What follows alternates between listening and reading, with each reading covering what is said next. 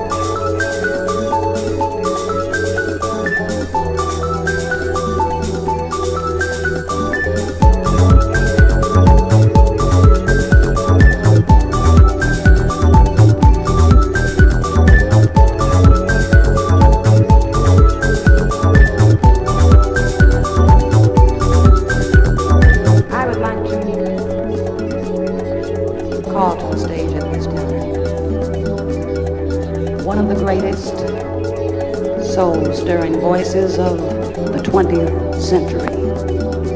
Mr. Joe Ligon of the Mighty Clouds of Joy.